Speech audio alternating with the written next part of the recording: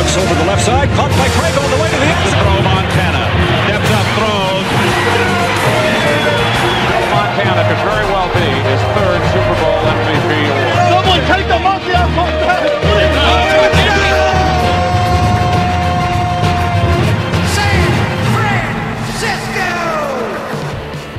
Familia Niners, sean bienvenidos a una emisión más de Canal 49, semana de Super Bowl y les tengo un programa especial preparado para el día de hoy. Antes de continuar no olviden suscribirse al canal, invitar a más aficionados Niners a hacerlo, activar la campanita de notificaciones para que YouTube les avise cuando subo mis nuevos contenidos. Síganme en las redes sociales como Canal 49 Oficial en Facebook, Twitter e Instagram y en Twitch como Canal 49 y estoy streameando todos los miércoles. Les recuerdo que este jersey donación del buen David Castro lo voy a regalar a alguno de todos ustedes el domingo antes del Super Bowl voy a hacer un en vivo en donde les voy a decir cuál va a ser la dinámica para que alguno de ustedes se lo gane. Pero bueno, vámonos con la revisión de esta temporada 2021-2022 de los 49 de San Francisco. ¡Go!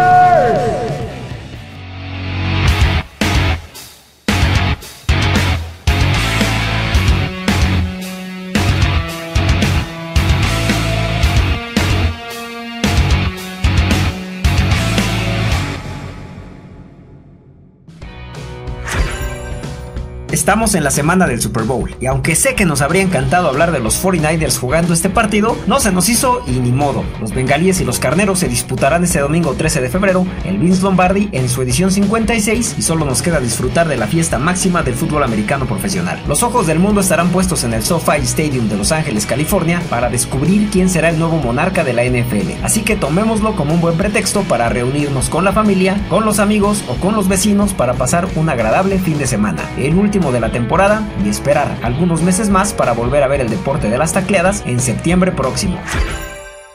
Pero la temporada 2022-2023 de los San Francisco 49ers apenas empieza. Si creían que esto ya se había acabado, déjenme decirles que no es así. Como lo comenté en el podcast pasado, los movimientos ya empezaron. Geoff Embry, nuestro coach asistente y entrenador de alas cerradas, ya se fue a Miami. Anthony Lynn, quien fuera head coach de los Chargers y recientemente coordinador ofensivo de los Lions, llega a ocupar su lugar como mano derecha de Shanahan. Jimmy Garoppolo ya tiene precio en la agencia libre. Richard Hightower, nuestro coordinador de equipos especiales, se fue a Chicago y Mike McDaniel, nuestro coordinador ofensivo, es nombrado head coach de los Dolphins. Afortunadamente, DeMarco Ryans decidió quedarse en la organización al menos un año más. A Shanahan se le extendió el contrato por seis años más y la agencia libre será una auténtica locura para los gambusinos. Pero vamos como cada año desde que empezó Canal 49 a hacer una rápida revisión y evaluación de lo que fue la temporada 2021-2022 de los San Francisco 49ers. Los 49 tuvieron una temporada llena de emociones y como fanáticos no podemos negar que si algo no faltó fue mucho trabajo para los cardiólogos durante las 21 semanas que duró esta campaña para los gambusinos. Desde juegos casi que se iban de las manos como el de Detroit, el de Filadelfia o el de los Cowboys, pasando por derrotas infames como las dos de Seattle, la de Arizona o Tennessee, y hasta victorias memorables como la de Rams en la semana 18 o la de Green Bay en el juego divisional en el Lambeau Field. Los 49ers con todo y los altibajos que tuvieron esta campaña se metieron a al juego de campeonato de la Conferencia Nacional y perdieron apenas por 3 puntos contra el equipo que es el favorito a llevarse el Vince Lombardi este próximo domingo. Los Niners callaron bocas, sorprendieron a propios y extraños y se ganaron el respeto de muchos analistas y aficionados en toda la liga. Quedar entre los cuatro mejores de la NFL no es poca cosa y si este equipo sabe hacer bien las cosas este offseason como lo ha venido haciendo desde hace tiempo, indudablemente permanecerá entre los mejores y favoritos para ganar el Super Bowl la próxima temporada. Lo bueno, la defensiva de los 49ers terminó como la tercera mejor de toda la NFL. La ofensiva terminó como la séptima mejor de la liga. Jimmy Garoppolo tuvo el segundo lugar en cuanto a yardas por envío con 8.6, solo por debajo de Joe Burrow con 8.9. Divo Samuel rompió el récord de todos los tiempos en touchdowns por tierra para un receptor abierto con 8 en la temporada y fue nombrado All Pro. Cuando se le preguntó en la semana del Pro Bowl cuál era su posición, si era receptor o corredor, dijo que era una nueva, llamado wide back. Trent Williams, quien también fue nombrado All Pro, tuvo la mejor calificación para cualquier jugador en toda la NFL con 98.3. Es decir, Williams fue el mejor jugador en toda la liga. Williams podría ser nombrado el MVP sin problemas, pero sabemos que no es coreback y eso es muy injusto en esta liga para los linieros. Alex Mack, nuestro centro llegado de Atlanta, tuvo una temporada que lo metió al Pro Bowl. Laken Tomlinson, nuestro guardia izquierdo, fue llamado también al tazón de los profesionales. Brandon Ayuk tuvo una gran segunda parte de la temporada y se convirtió en el receptor con más yardas del equipo desde la semana 9. Joan Jennings se convirtió en una grata revelación ocupando el puesto de wide receiver número 3 al final de la campaña y contribuyendo en situaciones importantes como el juego de la semana 18 contra los Rams. George Kittle no tuvo su mejor campaña como receptor, pero como bloqueador fue impresionante, ganando su llamado al tazón de los profesionales. Kyle Juszczyk sigue siendo el mejor fullback de la liga y pieza importantísima en el esquema de Shanahan. También fue llamado al Pro Bowl y tuvo un touchdown en él. Alaya Mitchell fue el novato del año en San Francisco, pues rompió el récord de yardas para un novato en la historia de la franquicia con 878 por tierra. Nick Bosa superó su marca en capturas de mariscal de campo en 2021 con 15.5 y fue líder en postemporada con 4. Fue llamado al tazón de los profesionales y fuerte candidato a regreso del año. Arik Armstead tuvo un crecimiento brutal comparado con 2020. Al moverse a tackle defensivo, mejoró enormidades y espero un gran 2022 para él. DJ Jones terminó 2021 como el mejor liniero contra la corrida de la NFL y es una de las prioridades para los 49 en este offseason. Arden Key se convirtió en un importante hombre dentro de la rotación de la línea defensiva en San Francisco, cerrando su temporada con 8 capturas de mariscal de campo. Aces Al-Sahir tuvo un excelente 2021. Gracias a él, casi no se notó la ausencia de Drew Greenlow por lesión en la temporada. Emmanuel Mosley tuvo una calificación de 88.4. Fue uno de los esquineros que menos pases completos y touchdowns permitió en toda la NFL. Jordan Willis mostró mucha eficacia, no solo en equipos especiales, sino como hombre de rotación en la línea defensiva de los 49ers. Talanoa Fanga parece ser el futuro en la zona profunda de los 49ers. Podríamos ya no necesitar a Jaquiski Tart. Robbie Gold cerró muy fuerte 2021 y sigue con su marca perfecta en postemporada con 20 de 20 en goles de campo y 32 de 32 puntos extra. Kyle Shanahan sigue siendo una de las mentes más creativas en la NFL, pues con una ofensiva llena de lesiones, novatos, con una defensa sin esquineros y con coordinadores debutantes, logró meter al equipo a la final de la conferencia nacional. Demeco Ryans fue la gran revelación en el staff de los 49ers, pues ocupar el lugar de Robert Sala no era sencillo y terminó con la tercera mejor defensa en la NFL. Los 49 de San Francisco son uno de los cuatro mejores equipos en la NFL. Lo malo. Tom Compton y Daniel Brunskill tuvieron sus buenos momentos, pero el lado derecho de la línea ofensiva jamás logró tener el nivel esperado. Mike McGlinchey mostró muy poco en los juegos que participó y luego se lesionó. Veremos qué decide hacer la directiva con el señor McGlinchey. Aaron Banks, nuestro guardia derecho seleccionado en segunda ronda, no vio acción toda la temporada. Troy Sermon decepcionó en su primera temporada con San Francisco. Josh Norman terminó sentado en la banca ante su bajo rendimiento en el campo. Diomodre Lendoyer terminó perdiendo la batalla con Ambry Thomas en esta campaña. Esperemos crecimiento para 2022. Fred Warner no jugó mal, pero estuvo por debajo del nivel mostrado desde que llegó a San Francisco. Dre Greenlow estuvo lesionado la mayor parte de la temporada. Se habla incluso de poder ser transferido en este offseason. Javon Kinlow se lesionó muy temprano en la temporada y aún no hemos podido ver su verdadero potencial en el campo. Kyle Shanahan sigue dejando ir partidos ganados y eso es un tema que se tendrá que revisar a fondo para este 2022.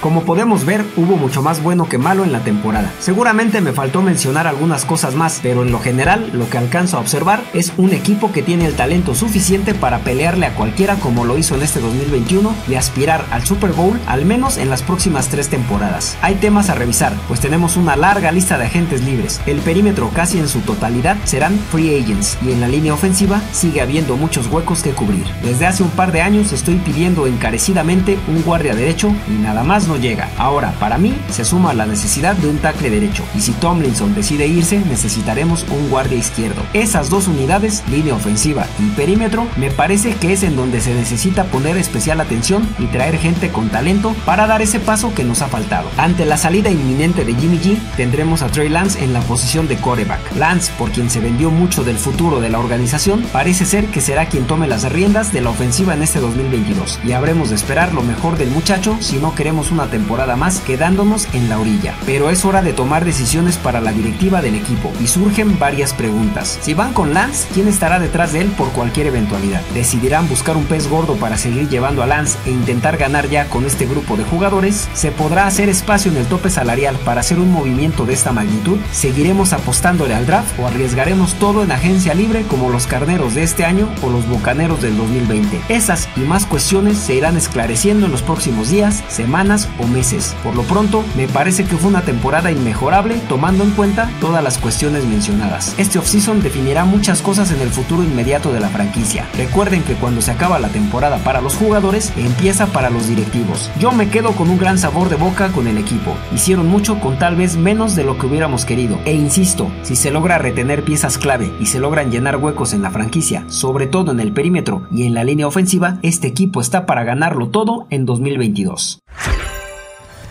En Pablo Damos vamos por el último pronóstico de la temporada del Super Bowl 56. Bengalíes contra Carneros. Para mí, el ganador serán los Carneros de Los Ángeles. El sábado les dejo el juego para que lo puedan ver. Les dejo las que para mí fueron las 10 mejores jugadas de los gambusinos esta temporada. Disfrútenlas.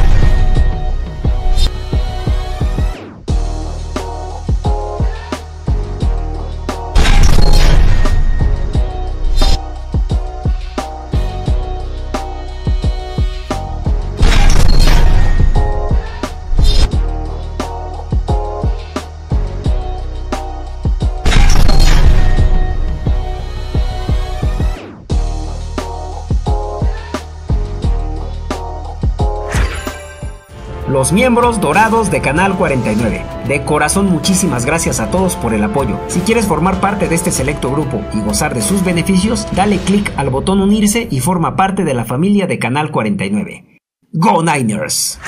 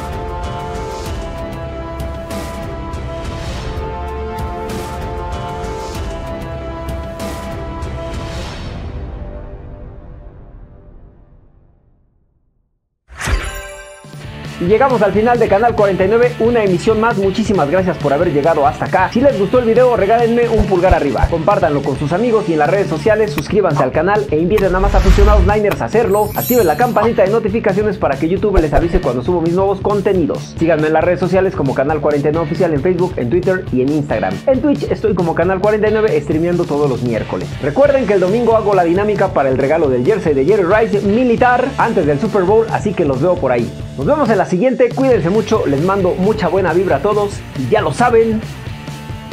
¡Go!